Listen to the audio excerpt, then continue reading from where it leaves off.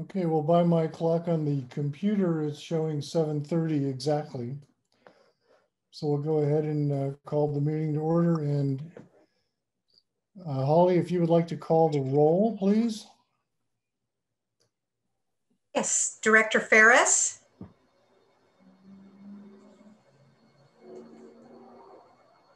hello, Director Ferris? Oh, he's not here. Director Falls, Here. Director Henry, Here. Director Moran, Present. Director Swan. Here. Okay, uh, did we know if Lou is having any issues or is he? Well, I guess he'll get here when he gets here. Okay, let's, uh, let me ask, are there any additions or deletions to the closed session agenda, Rick?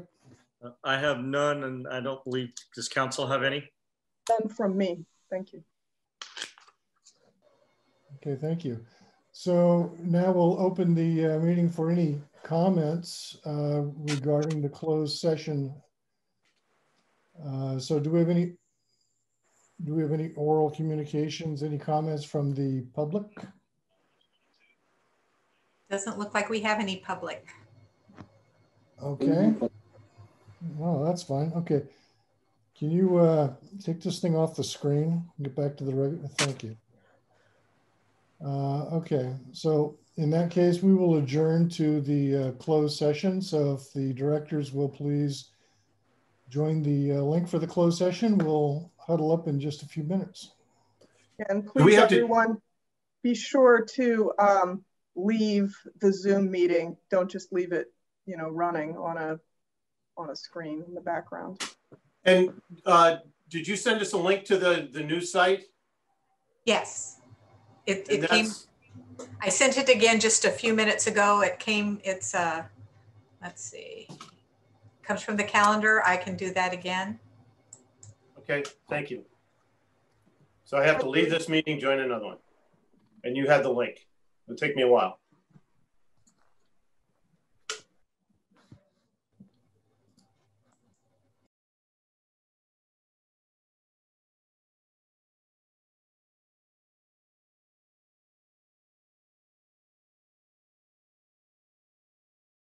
The session, or the session is convened again now at six uh, thirty some odd. Six thirty-four I have. Yeah. Every time he does that, it, uh, my screen. Uh, okay, so we're back in open session. And, Okay. Okay, there is nothing to report, um, out of closed session. And, uh, so let me ask. Uh, Rick, are there any additions or deletions to the open session agenda? I have none. Thank you. Okay, so at this time, we have uh, oral communication. So any, uh, anybody in the public who's joined the meeting that has anything they would like to comment on that is not addressed in the open session agenda may do so at this time. So let's see. Participants, there we go. We have eight attendees, it looks like. Does anyone have anything they wish to comment on?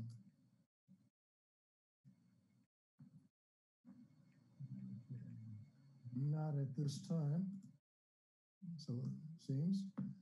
So returning back to the agenda, Rick, it's uh, item nine, unfinished business. I'll leave it to you.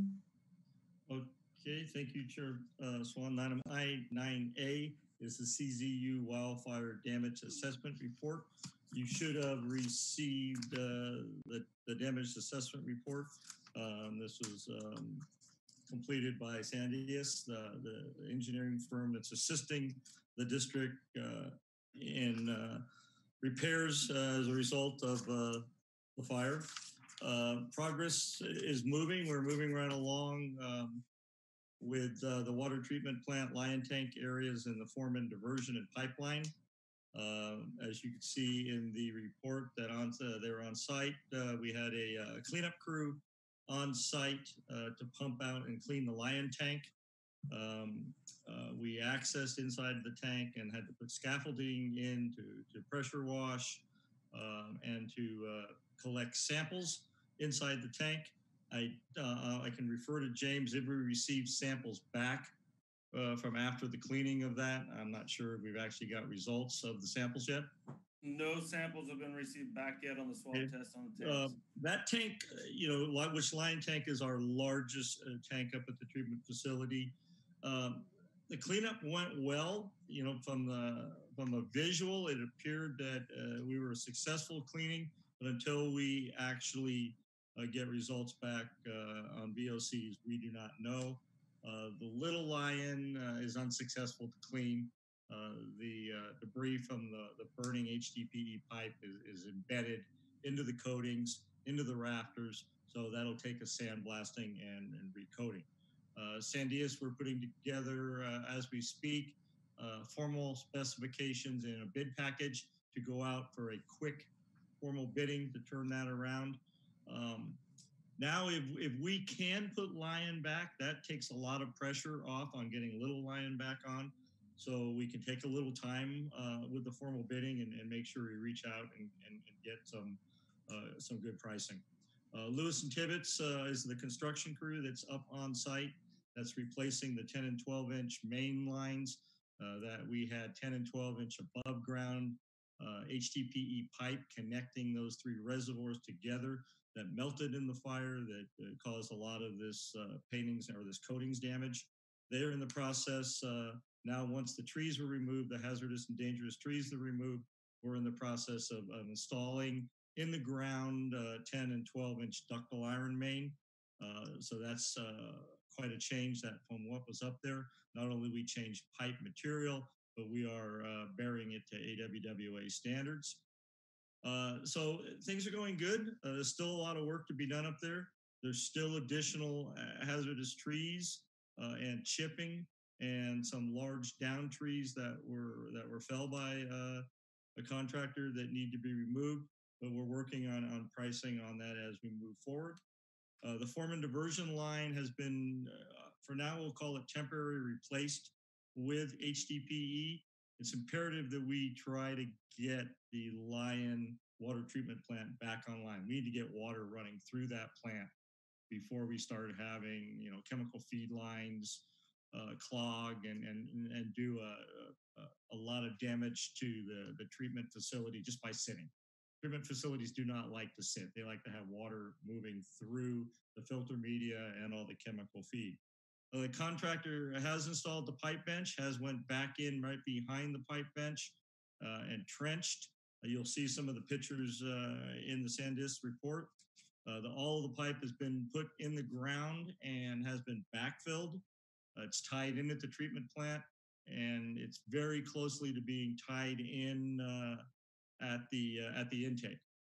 Um, so we're moving on that, um, getting close to being able to bring water to the treatment plant. However, there will be some issues with debris flows and turbidity uh, with rainfall, so we're not yet sure of when we'll be bringing the, the first water um, into the tank. Did I leave anything out, James, for that we're that we're working on uh, on construction? Uh, Well, I'll just go back to your pipeline that Lewis and Tibbetts is working on between Big Okay. Lyon and Little Lyon and Big Steel and Big Steel Booster. That has all been, it is installed and it is to the connection points. As of now, they're getting ready to chlorinate and disinfect those lines and get those ready to put back into service. Obviously, we will not be able to put Little Lyon back into service, but we can put Big Lyon back into service as soon as we get testing back. And then we will go through the state and make sure everything's all approved. Correct. And what we also have the over, the overflow line uh, has to be replaced on Lyon because we were not successful on cleaning that overflow pipe. So that is some tank piping that has to be replaced if I'm, am I correct Right. on that? So uh, with that, uh, that kind of concludes where we're at on repairs at this time. We're also in the process of reaching out to our environmental consultants and engineering consultants and starting to talk about a report on the raw water pipelines to do an analysis of what would be best the way to replace that pipe, whether it's uh, uh, and the type of construction. Um, we're getting uh, information back from uh, on our environmental people and on engineering people on that. So that and that will be coming to the board. There'll be a, a, a great deal of discussion regarding replacement of those above ground uh, and HDPE lines that uh, that we lost during the fire. So with that, I'll turn it back over to the board for questions. Okay, do we have any uh, questions or comments from the board? Rick? Bob, go ahead. Yeah, thanks, Rick, for that uh, update. With respect to the um, pipe that's going in underground to AWWA standards, does that mean that if, God forbid, another fire were to go through there, that those pipes wouldn't be cooked um, and create VOCs, that they're far enough in the ground that um, that, that would not happen? You know, that is correct. They're, I think they have close to three foot of cover on top of them. Uh, I would say yes, so that it should not be, It should Yeah. not or will not? will not, will not. I, I never say never, Bob. You know, I, I, I can never say never that, you know, trees may not come down and, you know, damage the pipe on hillsides or whatever, but fire should not impact that pipe. And is that, is that deeper then than what the pipes in Paradise were um, in the I'm not sure. I, I, I am not sure of the depth uh, on and and Paradise pipes, the ones that had the steam intrusion, were HDPE as well. Um, That mm-hmm. was the issue. It wasn't, it wasn't the fact that the pipes heated up too much. It was the steam that went mm-hmm. into the plastic pipes and the VOCs stick to the plastic pipes. And that's how Right. they got contaminated. It wasn't from heat up of the main lines in the road. I- As long as the AWWA has updated, if they have any of their specs based on fire experience, that's. that's yeah. I, I, I haven't looked at that specifically, but I know we that pipe has been installed um, with restraints and in depth and material to AWWA specs. Um, and you know, we we went, you know, that was our ma- a major facility. We lost over 50%, a little over 50% of our storage. I know. And that's unacceptable. We can't put back pipe that's going to be impacted by fire. It had to be hardened. We went right in. We didn't put temporary pipe in above ground. We went right back in and installed, you know, ductile, buried. Um, yes, it's a little more uh, expense, but it had to be done. It, it's just too valuable of a location for us not to to harden. No, I, I, I agree. I think that that's fine. I just wanted to make sure that their standards basically were that if it's that deep, no fire is going to affect it. Thank you. Right. Should And the intake, and the intake line is what was put in in HDPE, which is the raw water line. All the other lines are being put in in ductile steel and still being buried three feet deep. Right. Okay, great. Thank you. Okay. Uh, Director Moran, you have a question or comment? Y- Yes. Um, so the hazardous material that's being removed, whether it's from inside the tanks or from various other pieces of material that we own or have, what is being done with that? And is it being transported offsite? H- How is the hazardous material being uh, taken care of? Great question, James. Yeah, so that is all being pressure washed and that is being pumped out of the tanks. And that is being filtered through carbon filters. And the discharge of that water is tested and it all it is all um, clean water that's being discharged out into the drain systems. Now, on the piping and everything, we have taken that and piled it all up because we have to keep it for FEMA inspection. And so none of that has been removed from site that will be removed from- from site after we get FEMA inspection and the okay and the clear that the projects are good. And those will be hauled to a hazmat facility at that point. Foreman, Okay. foreman radio room, James. Your procedures there are the foreman room. The Foreman Radio Room, we are going with a company named ECGR. and they're a hazmat company. I do believe that's the name of them. It's something. It's some kind of acronym. Um, but they are coming in. It's costing us fifteen thousand dollars. It was a battery room and a testing room. And so, in order to hazmat and mitigate that, they have to clean the pad, dismantle the pad, and then test underneath the pad for hazmat after the cleanup's done. And all of that will be hauled out to a Buttonwillow facility, which is a hazmat facility, or into, into Nevada at a hazmat facility. Okay, thank you. Thank you. Lois, uh, you have a comment or question? I, I do. Um, I can prove my ignorance. Um, ductile iron pipes, how are they connected to each other? And does that withstand uh, really hot ground or, I, I mean, is it, is it just iron fittings or is it soldered or what is it? That's a very good question. There's there's issues with that, especially being above ground. James, you want to talk about the gaskets? Yeah, so being buried, they it's been proven that the gaskets do not melt in a buried situation. It has to get to 600 degrees for the gaskets to melt, and they're all push joints with the gasket on every joint. It's about an 18 foot joint every time. And above ground, it would be a problem because a forest fire can get up to six to 700 degrees, is what we're told by the engineering group that's doing this. And so the gasket is a problem above ground, but underground they don't they don't believe, and it's a AWWA standard to put that in the ground.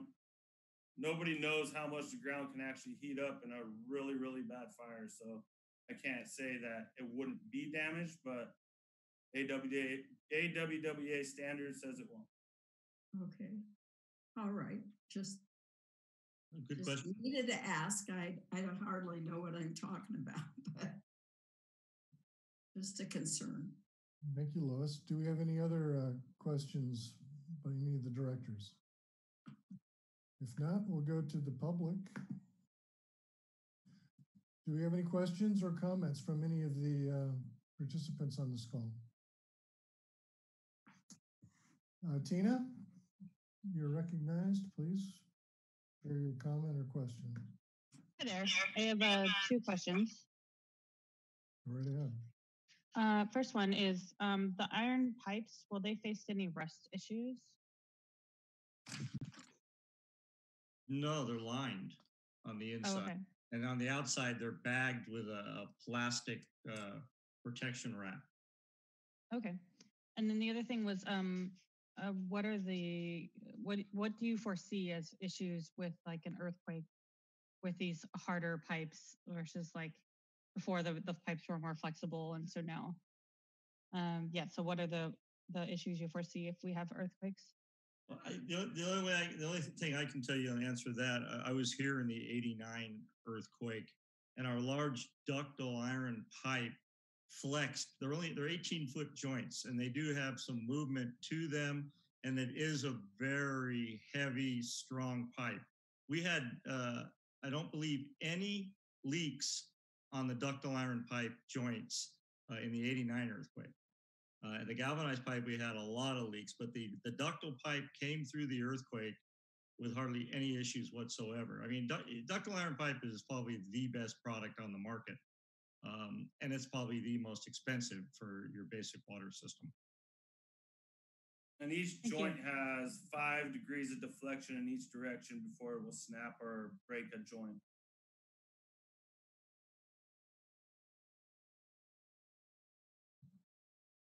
Thank you, guys. Thank you, Gina. Any other uh, questions or comments from the public?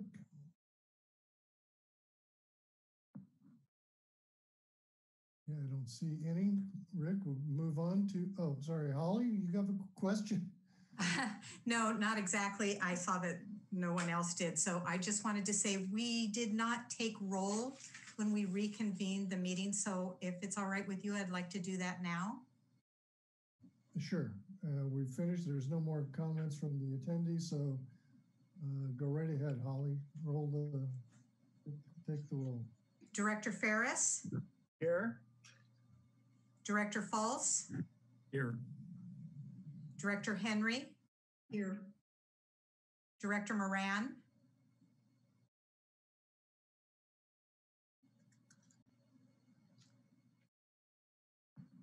Unmuted, present and, and President Swan. Here. Okay, thank you, And- Holly. I just wanted to note that um, all of the people were present when we did reconvene at 6:34. Is that what you were going to say, Gina? That was, yes, back, uh, when we convened to open the session. Okay, thanks for keeping us honest. Rick, back to unfinished Okay, business. uh, moving right along, the nine B, it's going to be a- an update, uh, on the CZU wildfire water quality update. Uh, um, we've been talking about this for some time since the fire, um, uh, due to the, uh, lightning complex fire that started back on, uh, uh, 8 2020 Uh, the high density polyethylene lines that we've been talking about, uh, that were in direct line of the fire were damaged uh, melted. Uh, that, that caused depressurization uh, of our water distribution system. And immediately after that discovery by the district, we contract, contacted our regulatory agency, the State Water Resources Control Board, who recommended issuing a, a precautionary do not drink, do not boil notice to all uh, affected residents uh, in our depressurized area. Anytime you depressurize uh, a water system, you have a, a potential uh, for contamination in general. But given with the fire and the HDPE pipe, we issued not only a, a do not drink, but a do not boil order. In preparation, um, um, in preparation of the fire, the district was able to isolate several areas in the distribution system before some of the HDPE mains were destroyed.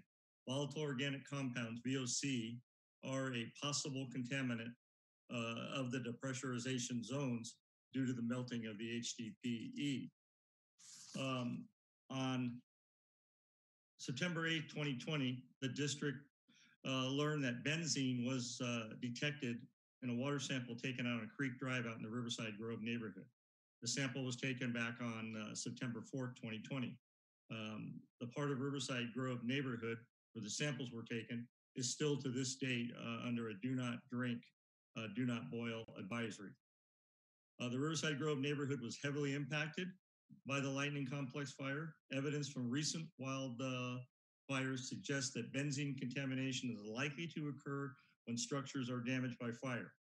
When structures burn and the uh, water system experiences low pressure, uh, plastic particles, gases, and other fire-related contamination can be drawn into the water connections and may get uh, past the meter into the public water system.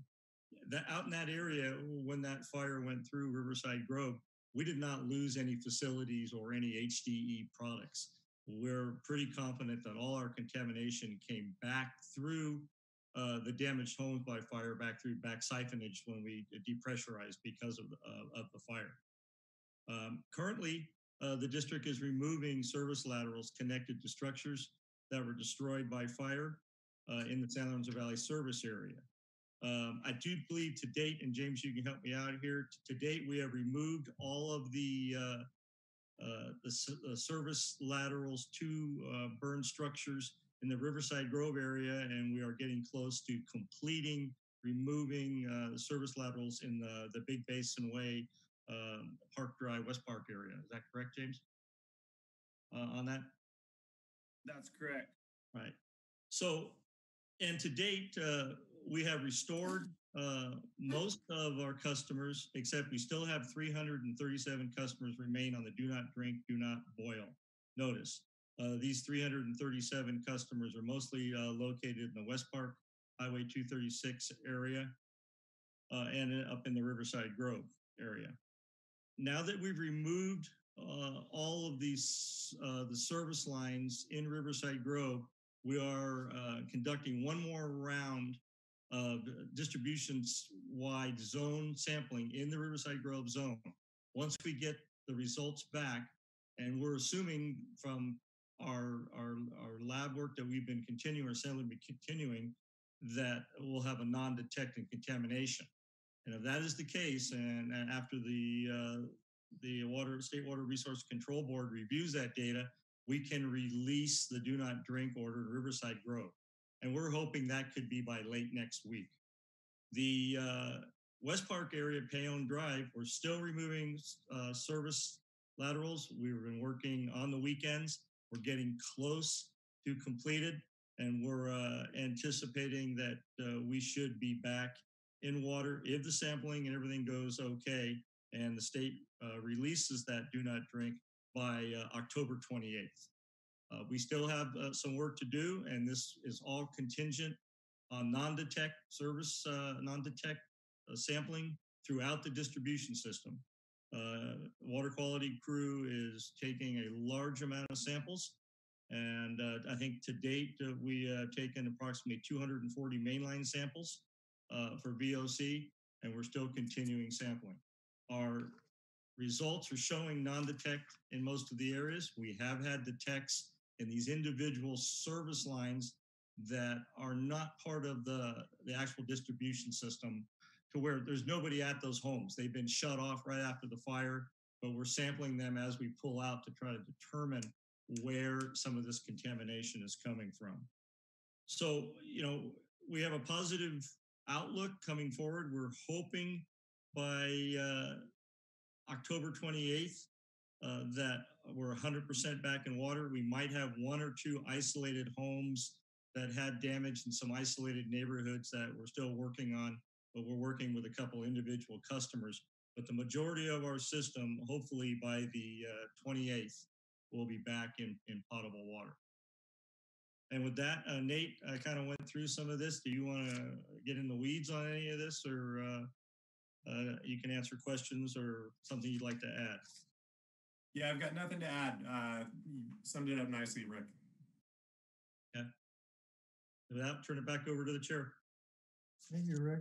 With, uh, with regards to the estimate of returning service back on the 28th, uh, what sort of communication has been going on between the water district and the residents that are currently affected? Nate, you want to take that? Yeah, so uh, we put out a, a notification this week just uh, notifying uh, affected customers on the process we're going to be going through before we are able to make a proposal to our regulatory agency to lift the do not drink, do not boil notice. So it was essentially a three step process. Uh, step one is background data generation. Step two is physical removal of all uh, service laterals connected to burn structures, which is in progress right now in uh, the um, West Park neighborhood um, and has been completed in the Riverside Grove neighborhood. Um, after step two is complete, we will be moving in to do one more large sampling of all areas of the affected zone. And uh, once data comes back, assuming data looks favorable, uh, we'll be presenting our case to the State Water Resources Control Board for do not drink, do not boil uh, notice lifting. Um, so we've communicated that process with our customers, but as Rick mentioned, this is all contingent upon um, favorable lab results. Um, so if, if we're not seeing favorable lab results, we're not at that time going to be prepared to lift the do not drink, do not boil.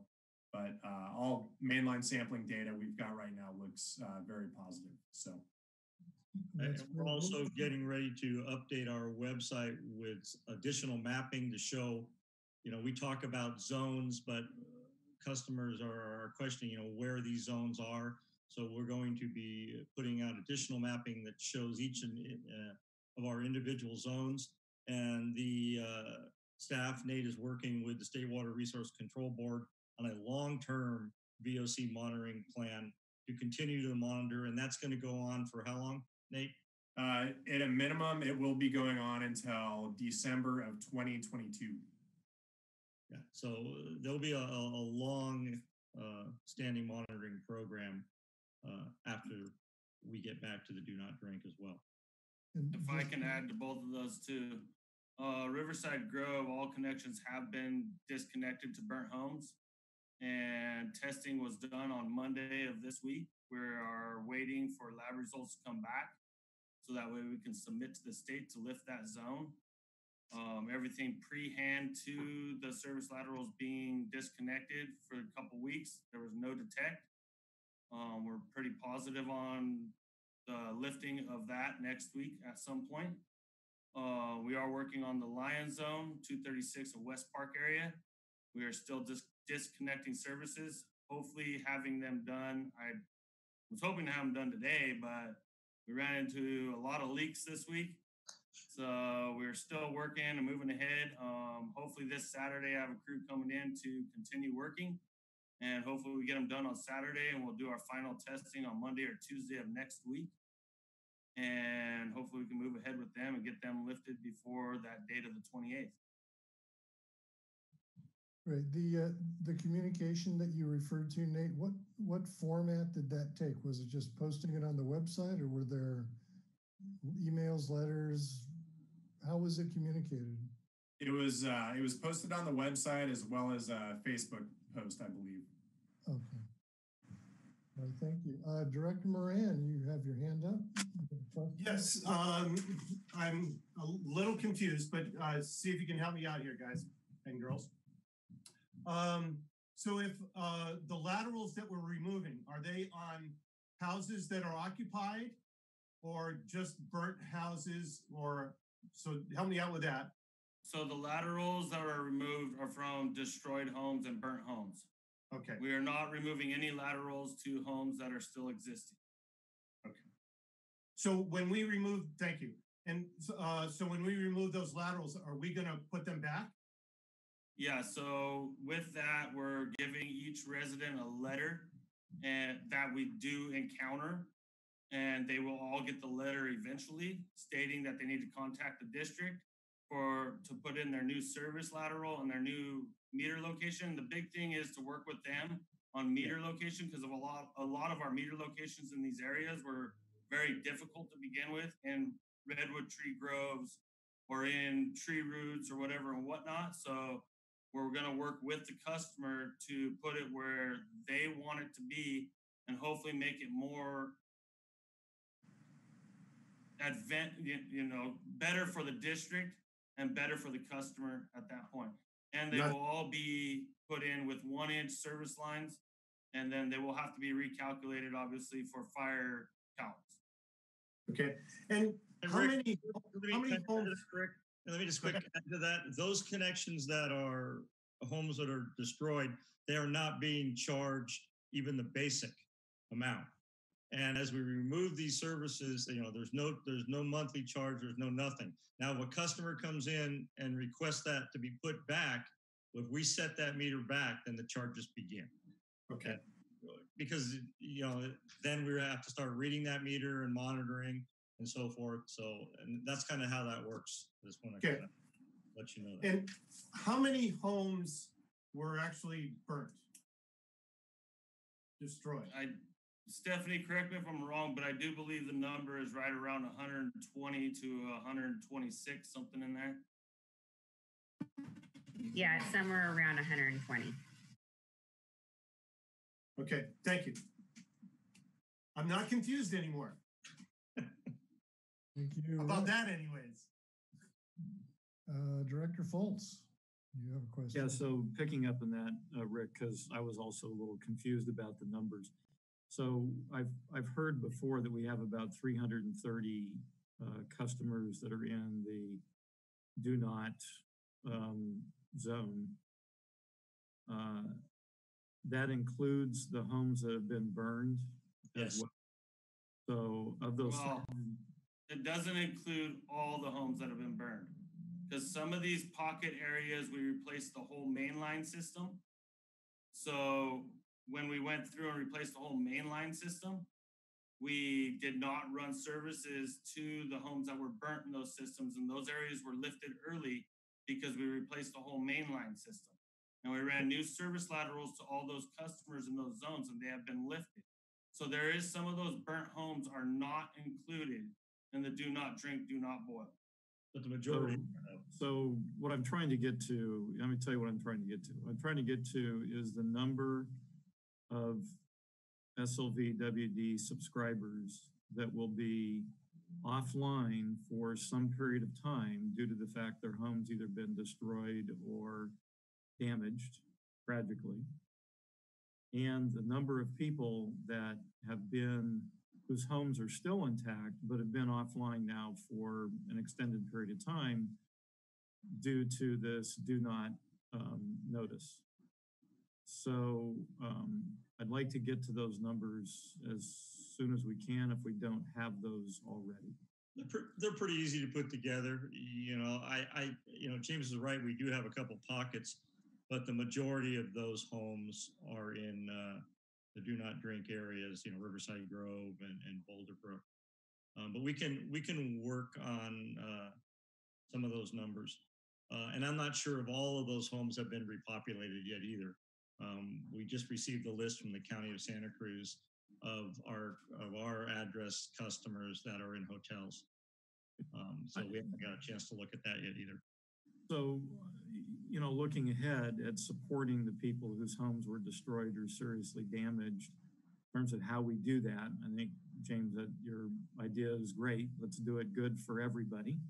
Um, and that has a um, financial impact, obviously, to the district. We don't want to be charging people if they can't use their home. And then concurrently with that, the people that have been on this do not drink, do not boil notice, effectively um, limiting their use of that water. Um, I, would like to understand that because they've been on that now for what six weeks um, and out of their house longer, obviously up to two months. Mm-hmm. Um, and so that also, uh, we need to make sure we're supporting those folks as well who have not had full use of the, the water that they had expected to use.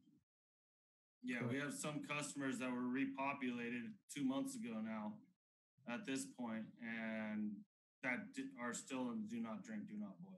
And I think we need to do something simple and straightforward to make sure they're not paying full boat for effectively water that, you know, isn't being able to be used full boat. I'd like to see that on a future agenda. With respect to that, are they in, all in the same uh, Riverside zone, Riverside Grove zone? No, you have the Lyon zone as well. Yeah, There's two zones basically at this point. Basically two zones. And then we I have mean, most people got put back online pretty quickly. I think it was only a couple weeks that we were out, 10 days, something like that. These are the folks that have been out for an extended period of time, and I think they need to be addressed separately and in a special way. And that's another thing with the pressure zones where Mr. Rogers was talking about the pressure zones earlier. It's kind of a little bit difficult right now when somebody looks at the map and sees the pressure zones because we were able to cut partial residents of these pressure zones over to other pressure zones to get them in water and get them off the do not drink, do not boil. But at the same time, we're having pressure issues in some of these areas because they're not on the zone they're supposed to be on at this point. Sure. But we got them to where they are off of the do not drink, do not boil at a lower pressure. And we figured that was the best route to go at that point. Uh, did- Are some of these pressures at 15 to 20 pounds or less? No, we're still supplying 20 plus to all 20 customers. Okay, well, that's actually, But I'm if they go from, if they go I'm from envious. 120 down to 40, they notice the difference. Oh, Yeah, yeah. yeah, no, I, I get it, but is, if they're above 20, I'm jealous. So, Yeah. There you go. That's, that's true. You, you would be. Yeah. Okay, but I think we need to have a uh, item where we discuss how we're going to address these issues with people. Thank you. Thank you, Bob. Uh, Any other questions, comments from uh, directors? If not, we'll go to the uh, public. The uh, Tina, we recognize you. Feel free. Uh, thank you. Um, I just wanted to mention to James because he said something about sending out notices to certain people. Um, I just today received a letter that had been sent to my home on 236. My home was damaged, and but the but the mail is taking. Um, this letter is dated September 16th, so it's almost a month between the time that somebody sent me something and I actually received it. So I wanted you to be aware that these people, if you're sending these letters to even their homes or their forwarding addresses, it may take a while for them to get anything. Um, so I don't know if there's another way around that, if they're if they have emails or something you could send out. But I just wanted you to be aware that um, yeah, the mail and and there's a lot of stuff I'm just not getting at all. And I went to the post office and they said there's a lot of people whose mail has just basically disappeared over the last two months, and we don't know what's happening with that. So I just wanted to make the board aware that this is something, and the staff as well, that this is something that's happening. It's really frustrating as far as getting mail goes. And if you're sending out notices, the people may or may not get them at all. Right. Um, and the thing with the letter was our crews were out doing the disconnections and they were running into a lot of homeowners that were allowed to be repopulated and they were coming to their burnt homes and they were questioning as to why we were removing the laterals and our maintenance department is not customer service you know and they're not out there to answer questions they're out there to do their jobs and so they came to us with the concern is, you know, what are we supposed to say? So we put the letter together because we were running into so many of these people to where we could just have, they could just hand them this and say, you know, sorry about your loss, and but here's what you need to do. And we're here to work with you. We're not, you know, just removing you. We're not abandoning you. This is what we're doing. It hasn't, you know, and so it explains to them. And then we mailed out to these residents as well. So a lot of residents got them in hand, and I understand the mail is, issue right now. So hopefully we can do something else. Mail's been problematic. I'm missing, I'm missing license plates. We haven't got our mail back. So then I had one more thing. Um, it was concerning um, Director Fultz's comment about how some people have been out of do not drink and do not boil for some time or been on the drink, do not drink and do not boil. My home is actually included in that. So I live along 236 and I'm I can't use or drink or cook with the water that's at my house. And um, I did see that you got a delivery of water recently, but it is uh, I only have like one of those. Um, it's like three gallon tanks or something that I run down and I fill up. Um, and so it's something that I would be like appreciative, and I understand if the board's financial situ- situation doesn't warrant this, but it would be helpful to like have some sort of compensation for the fact that like I can't drink the water or at my house. Um, so I just wanted to make that comment as someone who is affected by that. And thank you. That's all I had. Yeah. Any other questions or comments from the public? No? Okay, uh, back to you, Rick. Okay, uh, our, our next uh, item is the CZU fire distribution of bottled water uh, our filling station located at our operations building uh, in Boulder Creek. Uh, in response to the CZU wildfire damage to district facilities resulting in the interruption of water service and the do not drink, uh, do not boil order, the district has been distributing bottled water and installed a water bottle filling station at the operations building in downtown Boulder Creek. In the beginning, water was made available to anybody who wanted it with a two case limit per day and unlimited filling of the bottles at our filling station. Uh, the water has been donated ongoing by the County of Santa Cruz through the Office of Emergency Services and many organizations such as uh, the American Red Cross, Santa Cruz Police, fire departments, retail stores, bottled water providers, um, uh, Budweiser. I mean, there's been so many people and many volunteers from the community have spent time uh, distributing water to the community. You know, including we had Boy Scout uh, troops and and just people in general coming down, uh, staff, spouses, and just wanting to come down and and help uh, pass out water. Makes it really easy if uh, customers don't have to get out of their cars. It, you know, the the operations building isn't made for parking and drive up and load. Keeps people moving. Uh, in the early stages of the repopulation, the district was distributing water to approximately 4,000 connections. Uh, as time went on, the amount of water being distributed was estimated at eight pallets per day. Distributing water became time consuming. Uh, we, we, were, we had to go down to the county. They didn't have a forklift that worked. We had to go down to the county and load, unload pallets of water. Um, it's becoming more difficult to receive donations. Uh, our district secretary and our environmental planner are reaching out, spending, uh, start spending some time uh, trying to get the the bottled water. Um, to uh, reduce uh, the amount of water needed, the district reevaluated water distribution and limited to only people who lived in the areas of the SLV Water District, Big Basin Water, Brackenbrae Water, and um, Forest Springs. Um, those those areas uh, either are out of water or are in a do not drink um, condition. Um, that was roughly some estimated at some 1,200 connections total. Uh, to date, it's estimated that about 260 uh, pallets of bottled water have been distributed at the operations building. You know, the bottle filling station where residents bring empty containers and fill uh, and fill them themselves is, is, is very popular and gaining popularity. Uh, it greatly reduces the, the amount of, of small plastic bottles to date, approximately 20 units, uh, almost 15,000 gallons of water has been distributed uh, through the filling station.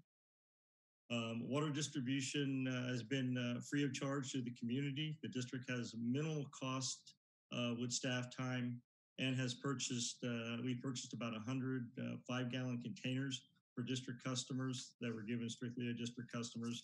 That was at a cost of $1,000. Um, looking at the district's water uh, quality uh, cleanup efforts, it's projected that the remaining 350 district connections could be back in water restored uh, by uh, that October 29th.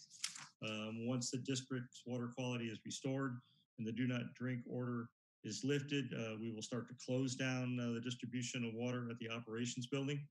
Notifications will be given to the public and other water providers. I've sent emails out to Big Basin Water, Brackenbrae Water, and Forest Springs Water uh, to inform them that uh, we have a potential of getting uh, our do not drink order lifted, and we will be uh, rolling back uh, the uh, bottled water.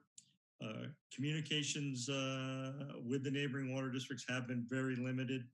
I haven't heard back from any of the, the three agencies I sent out emails to. Uh, I thought, and uh, the county uh, environmental health has reached out to the district um, wanting to maintain the filling station uh, through the end of the year, which is not a bad idea. Um, the amount of water that that is distributed is not that much. Um, it's not very uh, staff. Uh, there's hardly any staff time. Maybe going out and wiping down the station three or four times a day. Um, but uh, that would be good for the the community because these other agencies they have no uh, no end in sight of when their system will be potable again, um, and it, it is burdensome to to folks. So uh, I would be recommending leaving uh, our filling station up through uh, through the end of the year. And on another note too, it's you know we've had people that come up as far as Aptos trying to get water there's it's become problematic. People see things for free, uh, they want them. A lot of people are not in the the do not drink areas. It's getting confrontational with staff because staff to maintain a supply because we got close to running out, if not ran out last week one day. And we ask people where they're coming from. We try to police it a little bit, but it's become uh, confrontational.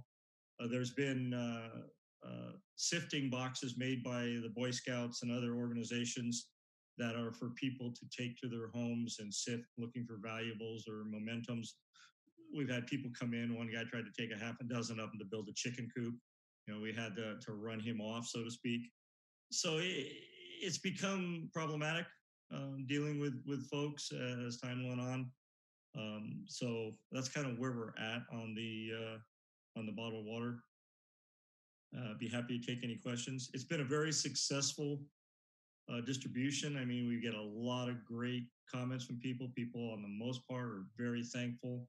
It turns out to be quite the, the gathering place, as Director Morano said. You know, the county was giving out free meals. There was people were giving out free backpacks, children's shoes. It was it turned into quite the the giveaway location, and and there was a lot of uh, good support of the district and our endeavors there. With that, I'll take questions. That's great. Uh, Director Fultz. Thanks for that update, Rick. I, I think it's really a good thing that we uh, did all of that. I'm hopeful that we're keeping track of who's been donating so that we can make sure we send out formal thank yous on behalf of the district, the, the board, and the staff for everything that people have done.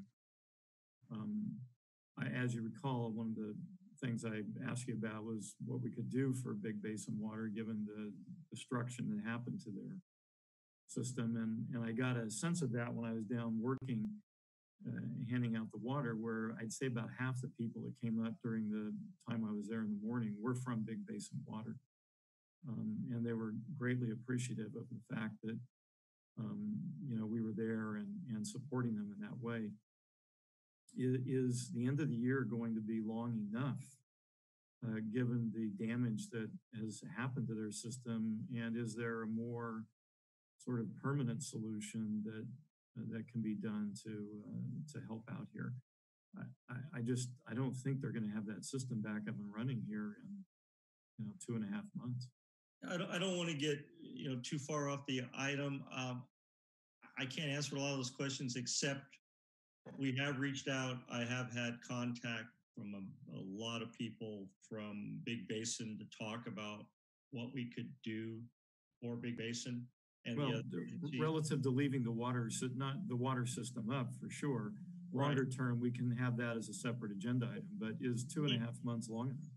we need the, the, the folks at these mutuals to reach out to us and to communicate what their needs are and what they would like us to do. And there's a, there's a little bit of a lack of communication, not just with this district, but with the county and with the state. They're not talking. Um, and so I, you know, if they would reach out to us and talk with us, I'm, I'm sure we would work with them.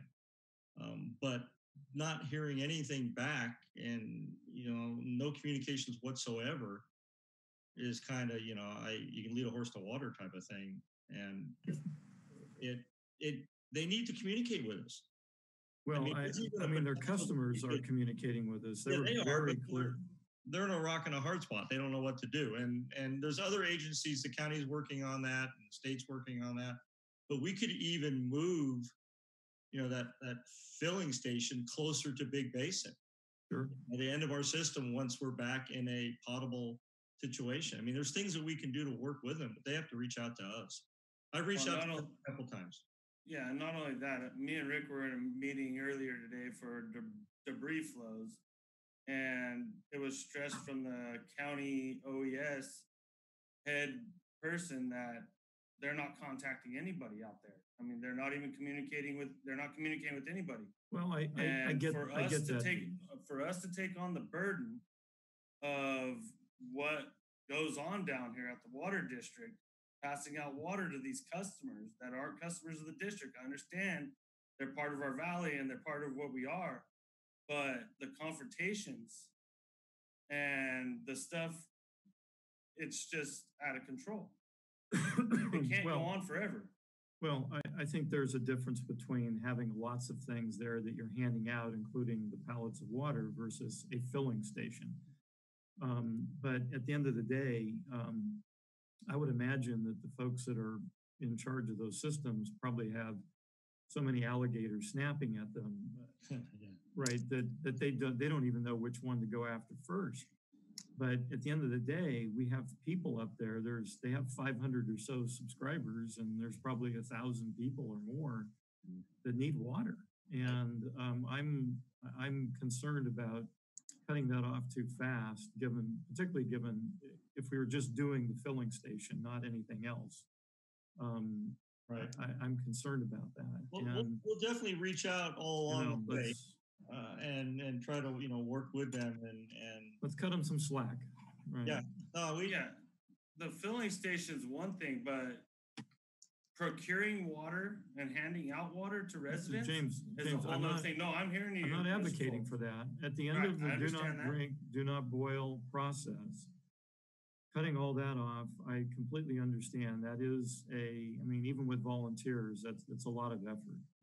But the filling station is another thing. And, and candidly, most of the people from Big Basin, at least that I encountered, and again, it's anecdotal sample, but still, they were using the filling station, not the, Right, um, right. not the, not Right. the, the bottled water.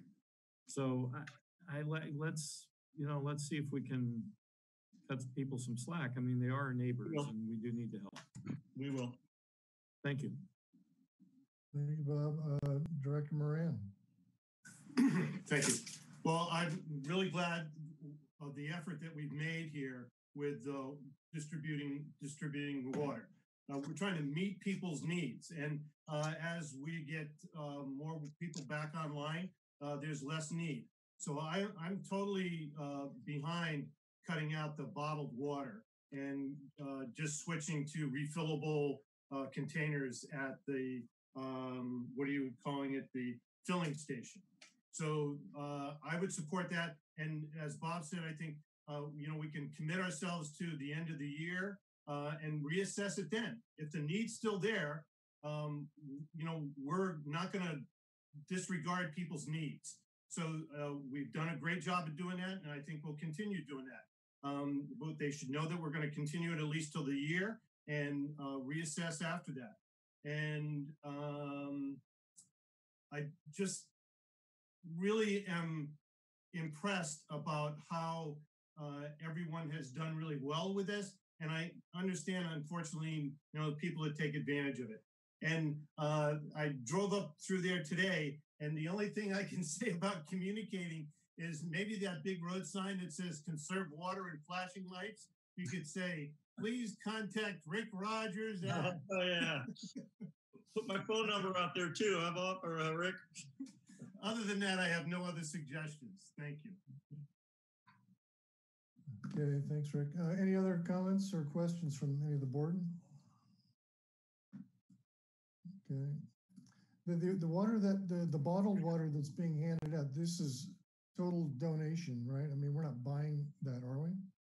That's correct. It's all been donated to this. The only thing we expense is we bought the five gallon containers uh, for our uh, our staff to give out um, to our residents. But it's all been donated. And we're trying. We've been trying to get big bottles, you know, five gallon bottles and, and empty containers donated, but that's been a little more difficult. Um, but 100% donated. Okay. Uh, okay, thank you, Rick. The uh, any of the public have questions or comments about the uh, bottled water and filling station?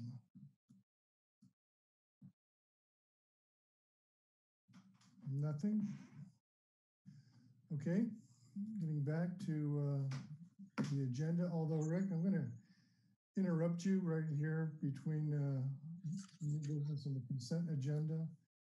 And I wanted to uh, make the following announcement. As a lot of you know, I've sold my property in Ben Lomond and I've I've moved out of state and it's the likelihood is that I am not going to be returning to the state. So um, because of that, I'm going to uh, lose my qualification to serve as a board member in the future. Uh, so I'll be submitting a resignation in the near future uh, effective at a point in time yet to be determined specifically.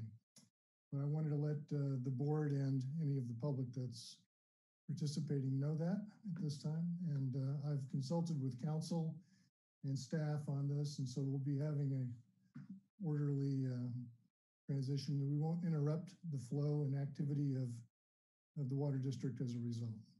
So just to mention that. Uh, moving on, we have the consent agenda coming up next. We have uh, any uh, any anybody want to pull anything from the minutes or or uh, the disclosure report for the reimbursement? Lou? Yes, thank you, President Swan. I have several questions for two of uh, the departmental reportees, uh, one for environmental and one for finance, or several for environmental and, and two for finance.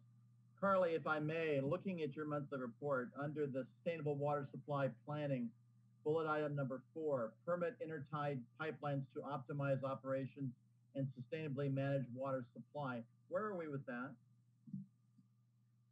That's a good question. Um, Rick might be able to answer that better at this point, um, but pretty much all our focus has been fo- has been shifted to the emergency response. Um, Rick, do you have anything to add? What I, I didn't listen to, I couldn't hear his specific question on on. I heard pipe and that was it. Right. It so was uh, bullet item number four under the sustainable water supply planning section and it referred to the permit intertie pipelines to optimize operations. I And that- think- That's the, uh, that's, that's the CEQA review? Well, I believe it's- my mind is more the selling water to Scotts Valley. Right. It's the intertie, the emergency intertie, Rick. changing it to a, to a regular intertie. Right, and, and, and we're working, that's what we're working with, uh, the, the county of Santa Cruz with, uh, Sierra and that group through that grant. Um, it has taken a back seat right now. Um, and we are, we have met and to start to put back a schedule to, to pull these, these more regular projects that we put on the back burner due to, uh, the fire. Uh, and I do believe the county is getting ready to submit that um, and- and start putting together the RFP for that to go out for the environmental review. The RFP is actually out currently. Okay, so It was released a week ago. that, that's moving along. I just, I just haven't spent any time on it. Yeah, I, I understand why progress hasn't been made, and I, and I, I certainly am not trying to, um, push you. I'm just trying to see where, where we are with that since it was on the monthly report. Second Right. item is under conjunct, conjunctive use grant, the, the last bullet item. The complete conjunctive use plan is ninety percent finished and should be available for public review by September. Where are we with that? Right, so right now we are waiting for our um, permitting, the consultant to be selected for the environmental permitting on the conjunctive use. Um, Okay. Pretty much, uh, Mike Podlek, who is working on the conjunctive use plan, is waiting for that feedback to then complete the plan. Um, so he could have it done once we have that information for him pretty quickly. We're just kind of waiting for the next piece to fall into place so that he can then complete the plan for us. And as soon as that's complete, we'll bring it to the board. Great, thank you. And last question for you, the CIP project permitting. Staff is working to secure permits for the following projects. I'm particularly interested in the Fall Creek Fish Ladder, the swim tank replacement, and the five pipeline project. Any updates there? Right. So swim tank, we are bringing the um, the final ISMND, so the initial study report to the board at the November fifth meeting. Um, so there'll be a, probably a pretty large conversation around that. Um, I imagine the public will be pretty involved. Uh, and as soon as that's approved, then we can start moving that project forward. Um, but we'll continue that next month. And then Fall Creek Fish Ladder, uh, right now, we received the agreement from the California Department of Fish and Wildlife um, in August, but we ended up bringing it back to them after Gina reviewed um, and gave us some feedback. And they're currently in the process of approving that amendment to the agreement. And once we have that, we'll sign it. Um, and then next after that, we'll follow the um, NMFS permitting which is their uh, bio uh, biop or biological opinion, as they call it, uh, and that's kind of contingent on the CDFW permit. And then after that follows will be the Army Corps. So once one is confirmed, the rest kind of fall into place. But most likely, we'll be going to construction for that project next year in spring. And the five pipeline project? So I'll I'll chime in on the five pipeline project. So we had the fire and everything, and we had them off the job for 40 days straight. Um, so we are back on the job as of two weeks ago. They're making great headway on the Hillside and Reynolds project out on Fern Drive, north of town. They plan on moving into California Drive on Monday for potholing and figuring out where utilities are. Uh, letters getting ready to go out to that community tomorrow. We were working on that today, punching all that up. So we will be delivering to that community tomorrow. Rick, you can deliver the word. and so we'll be moving in there on Monday. Um, just for potholing, it's not going to be major construction at that point. Uh, and so that's all moving forward, and we are still in design on Quail Hollow and Sequoia and Lyon. Uh, partial of Lyon now, since the CZU fire, part of that was damaged. So we are working on the logistics of how that's all going to work out. On if we're going to, if we can split part of that off and do it on part of the whole emergency response. And then uh, Quail Hollow, where they're getting pretty close. They had us, they contacted us to go back out and locate the two connection points. Uh, they have everything else done. They're just working on the connection points at this point. And Sequoia, I think, is pretty much ready to go. They're getting ready to send it to us for review. So everything on that end is moving ahead, and we do plan to have those plans for the three that are not being constructed this year ready to approve by the end of this winter. And then hopefully go to construction, bid and construction early spring, uh, early summer. So, and Carly, the environmental review for the Quail Hollow project, you want to update board on that? Right. So we received the draft of the ISMND, the initial study, and um, we should have that finalized by our staff internally. And then once we have that, we'll go to the public review. So probably next month, we'll be opening up the ISMND to the public for the review. Great, excellent. Thank you, James. Thank you, Carly. Um, one question, one comment for uh, Stephanie on finance. The question is, um, what is the status of our reserves currently? And then the, the comment is, would it be um, advantageous to have a status report to the board every board meeting on the cash flow situation for the district? So we've spent roughly through September about it's around 800 between 800 and a million dollars. So the reserves have essentially gone down to closer to 2 million. Um, I still need project estimated costs and timelines for us to be able to go out and get different, you know, to, to know what we need exactly for lending. Um, but the majority of the spending, you know, it came in the beginning. So it should start to balance out. Once we get the FEMA allocation, then we'll be able to go out and get the bridge loan, um, which is much, which is very easy for that because it's a FEMA backed item. Um, we can continue to have, you know, on the monthly reports, something about the exact cash flow. Are you concerned about cash flow? Yes, I am. We need to start getting some of the forecasts for how quickly we're going to be burning through the money figured out. And then on top of that, you know, it's we're talking about potentially three plus million dollars that we're going to foot no matter what. Um, you know, so it, we do need to bring it to budget and finance to figure out kind of what the district's long term plans are for. Rec- I agree, Lou. Great, thank you, Stephanie. There'll be several items that we'll bring to Budget and Finance Committee to discuss. So we need to discuss, uh, you know, we're starting back up our late fees to customers and we do have, we are starting to have several customers' bills that are, you know, six months, eight months to a year uh, uh, behind. We need to at least review that and, and let the Finance Committee, um, maybe we should make some recommendations on trying to increase uh, our collections. Do we have any other uh, questions or comments from any of the directors? If not, do the uh, public have any comments or questions they'd like to ask on this topic? No. Okay, moving along, district reports. Uh, Are there any status reports that anybody wants to share outside of what we've already seen? From environmental, operations, finance, or legal?